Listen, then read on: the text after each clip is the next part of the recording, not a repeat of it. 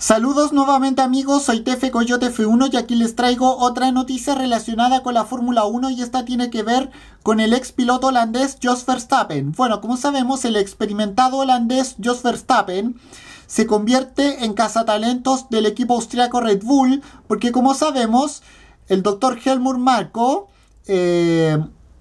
ha confirmado que el padre del que fuera eh, la sensación de la Fórmula 1 la temporada pasada, eh, Max Verstappen, eh,